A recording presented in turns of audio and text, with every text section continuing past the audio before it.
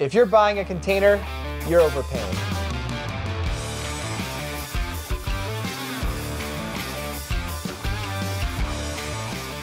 Welcome back, everybody. Tony Lopez and Cameron Sharsh here.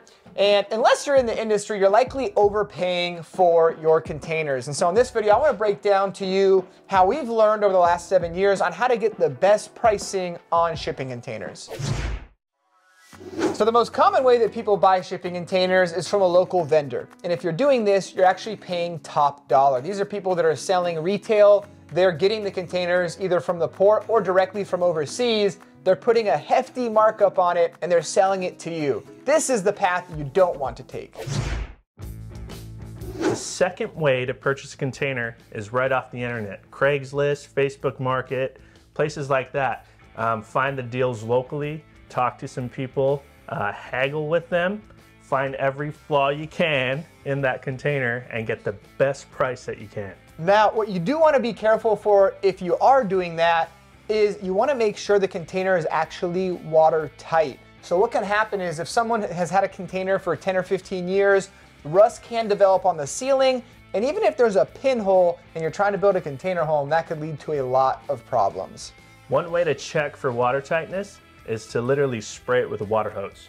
Close all the doors up, spray that thing down, and then go inside of it to see if that you have any leaks around the perimeter of the ceiling. What you'll notice is when you look at the inside of a container, especially up towards the ceiling, a good way to identify a leak is any little rust streams that you see. That just means that over time water's been running there and now it's starting to rust. Another thing you can do is actually go in the container you may not want to do this at their property. Close the container door. They might lock you in. And you can see if there's any light. You can just look up, and if you see light coming in, telltale sign, obviously there's a hole there.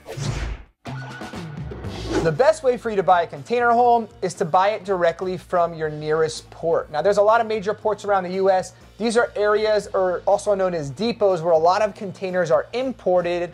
And it's those companies there and brokers in those areas where you can get the absolute best pricing. What this means a lot of times is that you will need to coordinate the shipping. And so you can use a company like uship.com, give them the details, and it'll actually go to a job board where people will bid on your listing. So if you're buying a container out of the Port of Long Beach, like we typically do, uh, you can go to uship.com, put the information where that's going to get picked up from, and start getting quotes. And you're going to save probably about $1,500 in total versus buying from your local vendor.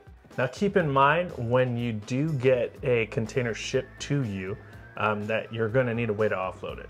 So that could be either with a tilt bed trailer, um, that's if the trucker is supplying that, or you're going to want to rent a forklift or even rent a crane, um, depending on where you're trying to put this container. Well, thanks for watching. I hope this helps save you some money. And if you're looking to save more money on your container build, go ahead and click the link below. We got a free resource for you. It's going to teach you our biggest lessons after building 100 container homes. Catch you on the next video.